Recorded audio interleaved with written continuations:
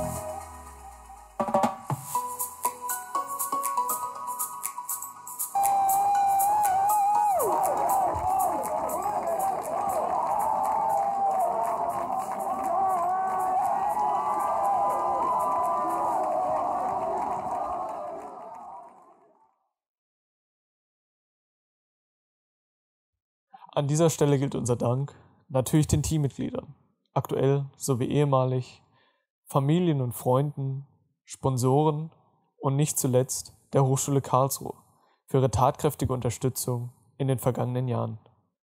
Wir hoffen, dass wir gemeinsam mit euch noch viele weitere Saisons bestreiten können. Kommen wir nun zu jemandem, der seit Anfang an dabei ist. Bereits seit 15 Jahren stellt unser Faculty Advisor Oliver Stumpf die Verbindung zwischen den Studenten und der Hochschule dar und hat Highspeed Karlsruhe zu dem gemacht, was es heute ist. Zur Feier des Tages hat er sich mit einer Videobotschaft an uns gewandt. In meiner Eigenschaft als Faculty Advisor von unserem Rennteam an der Hochschule Highspeed Karlsruhe ein paar Worte an euch da draußen, die ihr jetzt äh, zuschaut und natürlich an mein Team hier vor Ort oder jeden Tag natürlich entweder im Büro oder in der Werkstatt. Ähm, bin ziemlich stolz drauf, dass wir jetzt so weit gekommen sind, euch ein fertiges Auto präsentieren zu können und bin gespannt, wie es jetzt weitergeht. 15 Jahre meines Lebens bin ich jetzt hier schon unterwegs. Ein Drittel meiner Lebenszeit, mehr als die Hälfte meiner Dienstzeit hier an der Hochschule bin ich dabei. mit dem Team, das irgendwann mal angefangen hat, ein Auto zu bauen, das 300 Kilogramm gewogen hat und jetzt ein bisschen mehr als die Hälfte, wenn ich es richtig gehört habe. Ähm, wir haben den Gitterrohrrahmen abgelöst durch einen Monocoque. Wir haben inzwischen Flügel an dem Auto dran, Unterboden ähm, äh, mit den entsprechenden Simulationen, die notwendig sind, um diese Sachen richtig ans Auto dran zu bringen, dass es auch die Funktion erfüllt. Und wenn man diese Entwicklung anschaut, was in den 15 Jahren alles gelaufen ist, dann muss man schon ziemlich staunen. Und es ist eine Riesenchance natürlich für die Studierenden, an der Stelle die Praxis zu üben, die normalerweise nur in den Vorlesungen vermittelt wird. Und ich kann das wirklich nur jedem, der studiert, empfehlen, dass er in irgendeinem solchen Projekt dann mitmacht, um eben zu lernen, wie die richtige Welt funktioniert und gleichzeitig, wie wahrscheinlich in keinem anderen Projekt, einen Irrsinns Spaß machen kann.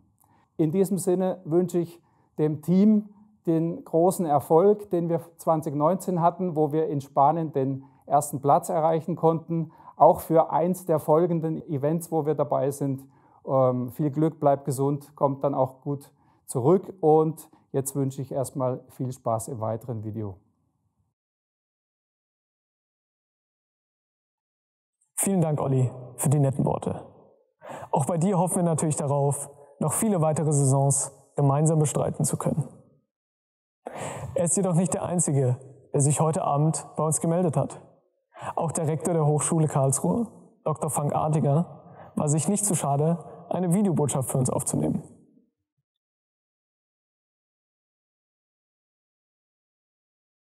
Liebes Publikum, liebes Highspeed-Team, äh, unser Formula Student-Team an der HKA, die schon seit so vielen Jahren aktiv sind in dem Projekt. Ich darf Sie ganz herzlich grüßen äh, von Seiten unserer Hochschule, von unserer HKA und freue mich an der Stelle sehr, dass es Ihnen und euch gelungen ist, auch in diesem Jahr unter diesen ganz besonderen Corona-Bedingungen ein Fahrzeug zu entwickeln, zu simulieren, zu produzieren, zu fertigen und äh, das mit einem Team von über 45 Studierenden und das unter wirklich nicht ganz einfachen Bedingungen. Wir wollten ursprünglich eigentlich diese Begrüßung aus dem Maschinenraum von Formula Student, äh, von Highspeed drehen. Jetzt habe ich die Information bekommen, da sind immer noch zu viele Vorbereitungen, Nachbereitungen, die da laufen. Ähm, aber ich drücke die Daumen, dass ähm, das äh, zum heutigen Termin passt und dass die Präsentation und der Rollout erfolgreich funktionieren. Ich darf dem Team ganz herzlich gratulieren. Ähm, Sie haben sich nämlich qualifiziert äh, für 2021, wirklich für alle wichtigen Standorte, äh, die für uns in Europa gelten. Das heißt, auf der einen Seite in Österreich, in Spielberg, auf der zweiten Seite in Spanien und äh, als Krönung natürlich auch direkt hier vor Ort in der Nähe in Hockenheim. Es wird ein sicherlich spannendes Rennen. Es wird immer noch Einflüsse geben durch Corona, aber Sie haben gezeigt, dass es möglich ist, das zu machen. Und das ist, glaube ich, ein ganz entscheidender und wichtiger Aspekt, der auch für uns als Hochschule, und wir sind ja vom Hochschultyp der Hochschulen für angewandte Wissenschaften enorm wichtig ist. Wir leben davon, dass äh, unsere Studierenden ähm, eine Entwicklung bei uns an der Hochschule vollziehen können, die vor allem auch äh, neben der Theorie die praktische Umsetzung beinhalten. Und dieses äh, Formula Student Projekt, das ist das größte studentische Projekt, mit der längsten Dauer bei uns an der Hochschule.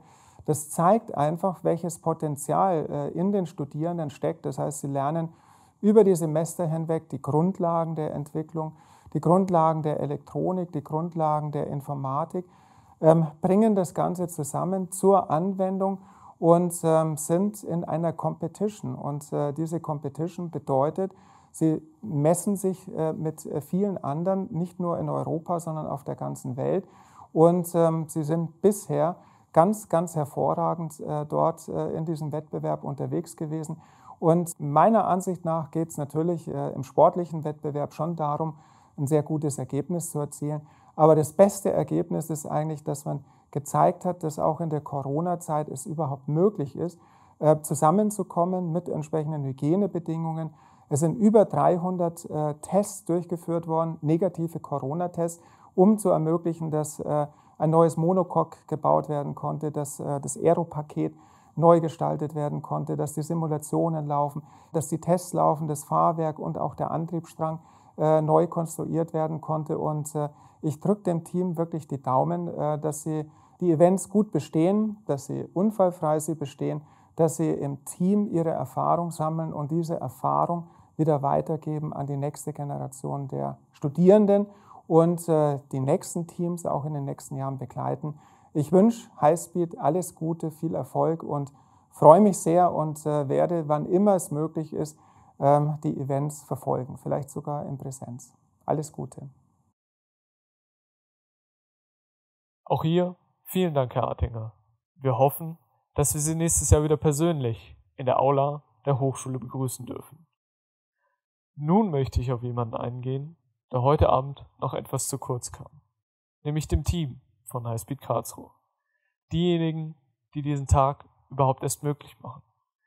Diejenigen, die jetzt normalerweise völlig übermüdet vor mir sitzen würden, da sie die letzten Tage damit verbracht haben, das Auto fertigzustellen. Dieses Jahr erleben sie den Rollout ganz gemütlich von zu Hause aus. Die Saison 2021 hat somit auch ihre Vorteile.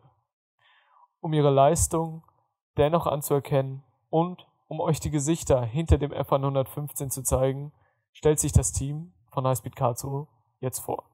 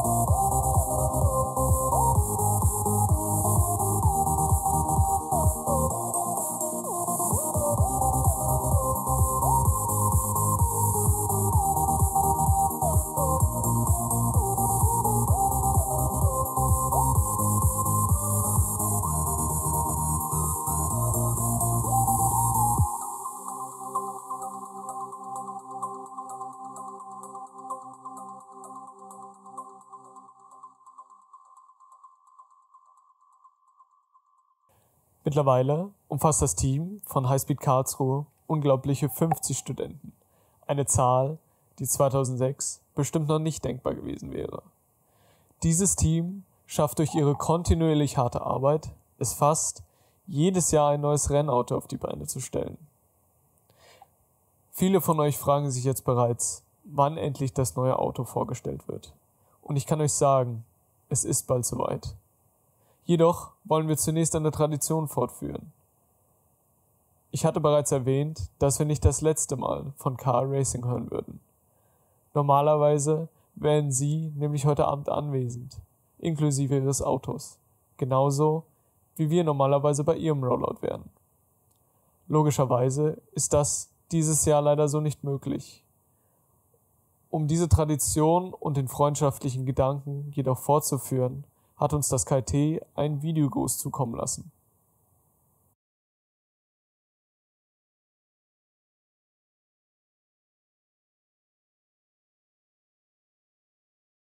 Vielen Dank und auch von mir herzlich willkommen.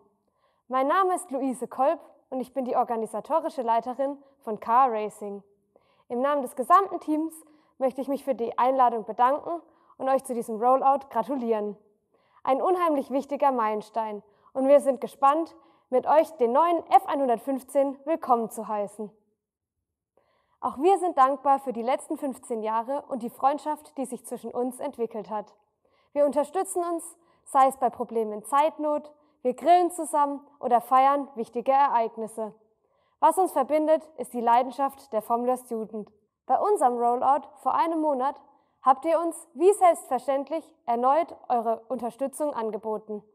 Ein neuer Leitspruch, One City, Three Cars. Mega coole Idee. Das Angebot nehmen wir sehr gerne an.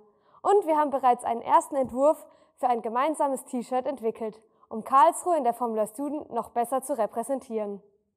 Wir freuen uns auf die Events im Sommer und euch dort wieder zu treffen. Wir wünschen euch viel Erfolg, viel Spaß. Bis dann. Wir hoffen, dass diese Freundschaft noch lange weiter besteht. Und wir freuen uns schon darauf, euch bei den diesjährigen Events wiederzusehen.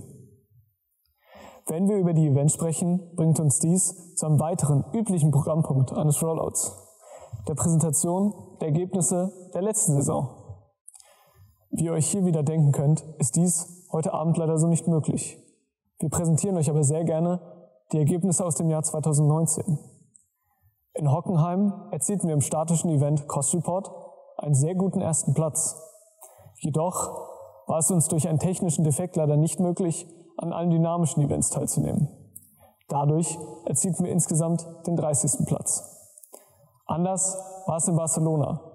Dort lief das Auto ohne Probleme und durch sehr gute Ergebnisse in den Kategorien Fuel Economy, Endurance und Cost Report konnten wir dort den Gesamtsieg holen. Wir hoffen, wir können mit unserem F115 an die guten Ergebnisse aus der Saison 2019 anknüpfen. Und das bringt uns jetzt zum Highlight des heutigen Abends, die Enthüllung des neuesten Rennwagens von Highspeed Karlsruhe.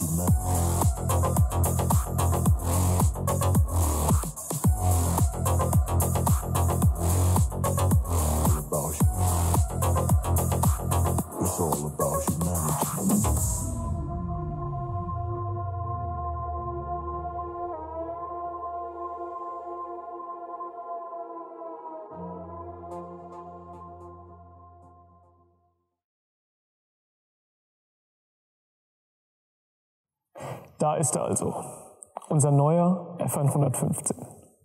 Wir hoffen, er gefällt euch genauso gut wie uns. Doch was hat sich getan im Vergleich zu den älteren Autos? Um diese Frage zu klären, haben wir unseren Teamleiter Jasse Neuschler zu einem Interview eingeladen. Ja, herzlich willkommen, liebe Zuschauer. Ein herzliches Willkommen auch an dich, lieber Yassin. Schön, dass du es einrichten konntest. Sehr gerne. Und auch von mir herzlich willkommen. Die erste Frage bezieht sich nicht direkt aufs Auto, ist situationsbedingt aber durchaus wichtig. Ähm, zu Zeiten von Hygienevorschriften und Kontaktbeschränkungen, was wären denn da die größten Herausforderungen? Zuallererst mal, im Grunde genommen hat es eigentlich sogar sehr viel mit dem Auto selbst zu tun, ähm, weil es, ja, es schränkt unsere Arbeit in gewisser Weise ein und damit auch die Arbeit am Auto. Ähm, die größten Herausforderungen waren meiner Meinung nach die Fertigungsphase. Ähm, einfach aus dem Grund, normalerweise sind wir mit 30, 40 Leuten gleichzeitig an der Hochschule, teilweise auch mit, mit 20 Leuten in der Werkstatt ähm, und arbeiten parallel am Auto, am, am äh, Schraubstock oder an der Bohrmaschine. Das war jetzt natürlich alles so nicht möglich. Das heißt, wir mussten uns da absprechen, wir mussten Pläne machen, wann darf während das Auto, wann ist die Werkstatt frei. Zusätzlich auch noch in unserem eigenen Fertigungszentrum, da waren wir auch ein bisschen eingeschränkt, was die, die Anzahl an Leuten angeht. Das hat am meisten äh, Zeit und auch Planung gekostet. Also, Und ähm, gab es da einige Überraschungen oder lief das doch äh, wie erwartet ab? Ja, Überraschung kann man schon sagen, insofern, dass wir, wir haben uns natürlich Gedanken gemacht zu Beginn der Saison, ähm, was wird, was wird Problem machen, wie gehen wir damit um? Und wir haben eigentlich gedacht, die, die, die Entwicklungsphase wird das Problem. Wir dachten eigentlich, das Entwickeln, das, das wird so nicht richtig funktionieren. Ähm, einfach weil es, normalerweise eben so ist, man hockt zusammen im Raum, ähm, jeder an seinem PC und wenn es dann eine Frage gibt, geht man schnell rüber und klärt es. Oder auch beim Essen gehen zum Beispiel. Man, man sitzt dann einfach da, dann ergibt sich eine Frage, man klärt die schnell und dann ist es Mhm. gegessen. Äh, ist natürlich jetzt in dem Fall schwieriger gewesen. Man musste extra ein Meeting, man musste sagen, na gut, okay, dann treffe ich mich aktuell jetzt mal, ich bin beispielsweise Team, Team Powertrain, treffe mich mit jemand aus dem Ja. Suspension Subteam.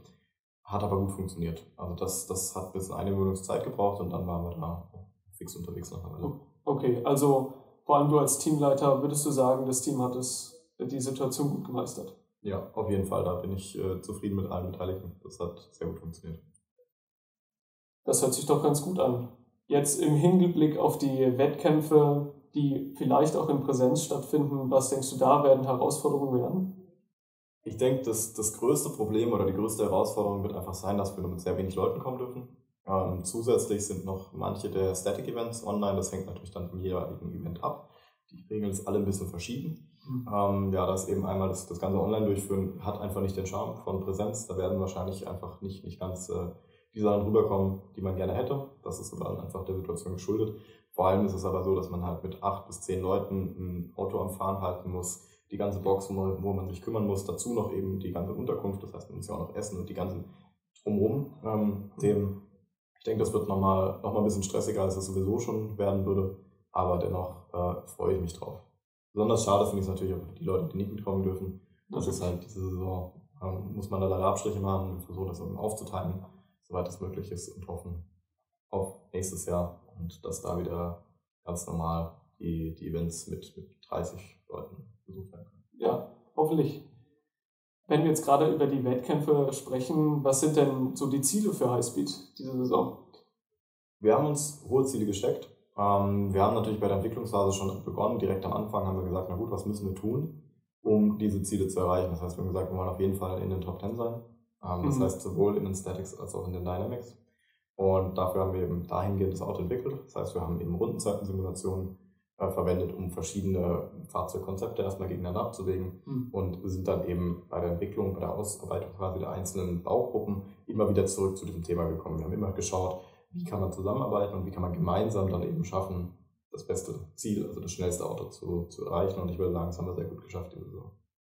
Da sind wir alle sehr gespannt, würde ich sagen. Jetzt mal die erste Frage direkt zum Auto. Was hat sich denn im Vergleich zum F113 getan?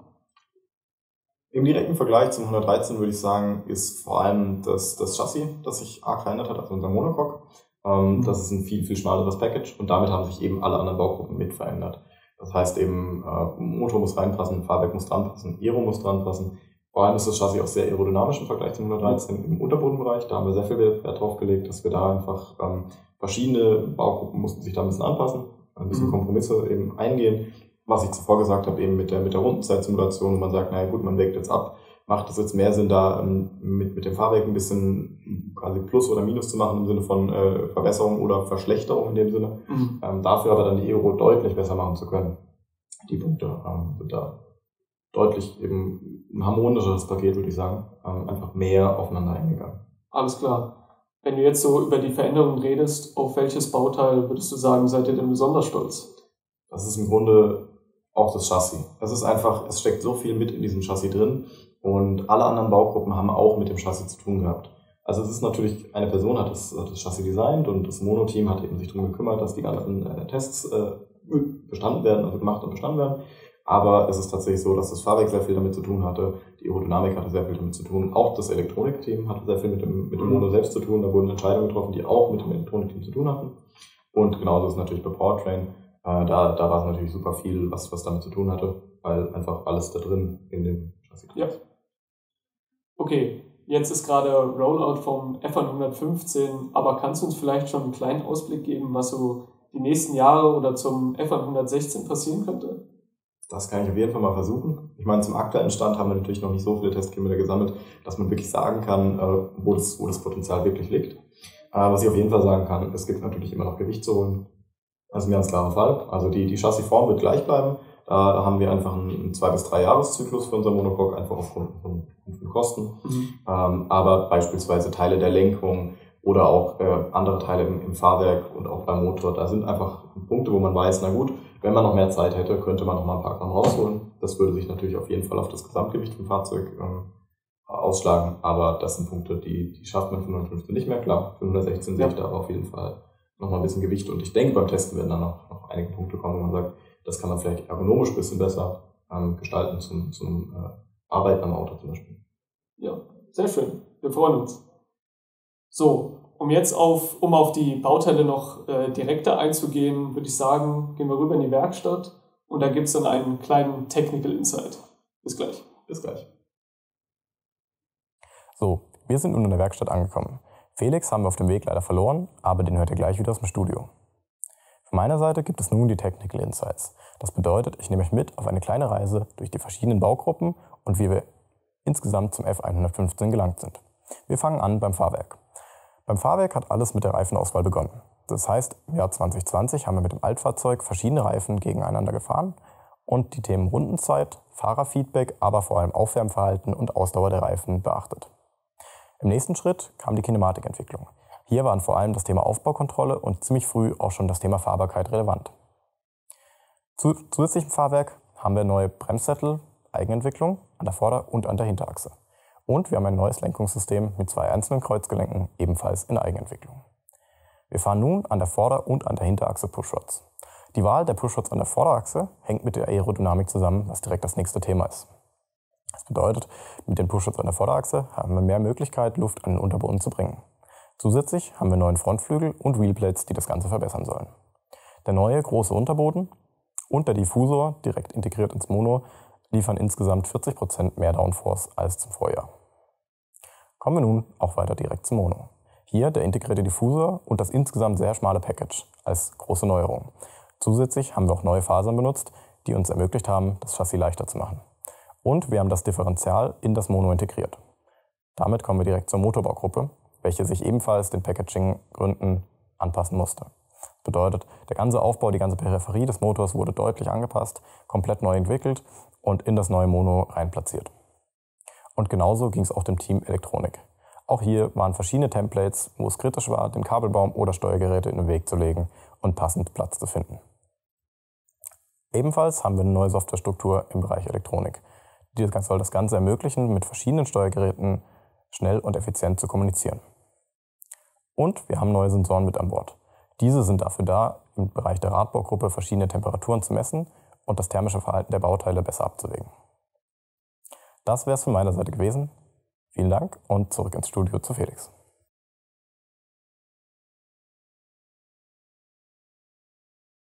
Vielen Dank, Yassin. Wir hoffen, wir konnten den technisch Interessierten einen kleinen Einblick in die Neuerungen unseres F115 bieten. Mich gibt es jetzt jedoch wieder nur kurz zu sehen. Denn zum Abschluss des Abends haben Olli und Yassin gemeinsam ein Danksagungsvideo aufgenommen für die Sponsoren.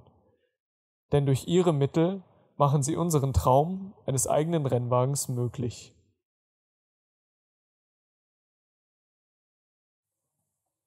Natürlich müssen wir uns noch bei einigen Menschen bedanken. Ganz am Anfang die Hochschule, die uns überhaupt das Projekt ermöglicht.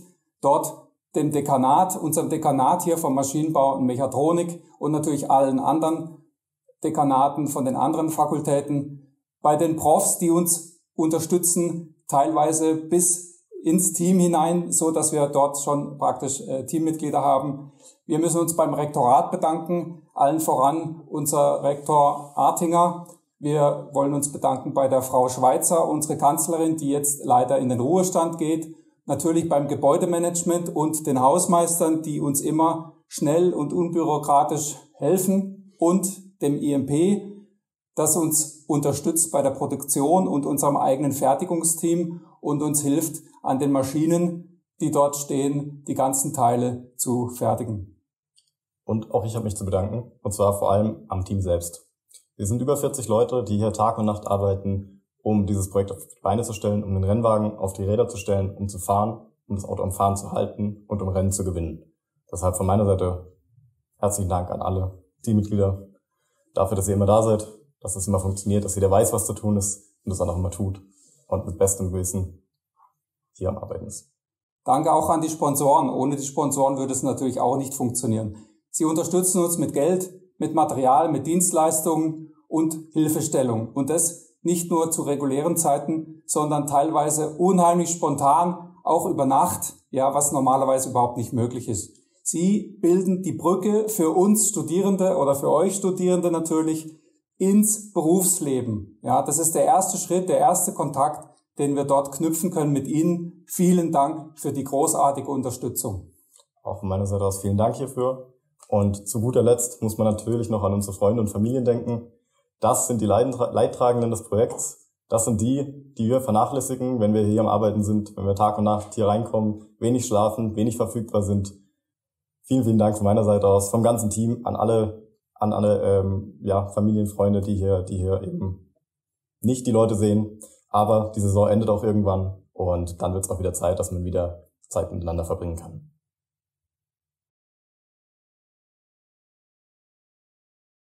Nun sind wir am Ende dieses Rollouts angelangt. Obwohl das Ganze nicht in Präsenz stattfinden konnte, hoffe ich dennoch, dass es einigen von euch Spaß gemacht hat.